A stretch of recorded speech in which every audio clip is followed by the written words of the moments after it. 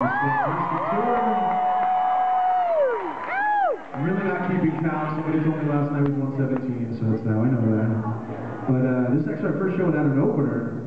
And uh, the bad news is, you know, we, you guys don't get to see another band.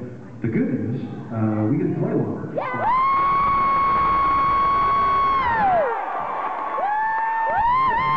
And uh, Oh my God! we don't have a curfew, do we? Don't get me wrong, this isn't going to be some like four-hour festival or anything. We'll do what we can. Next song's called MWK!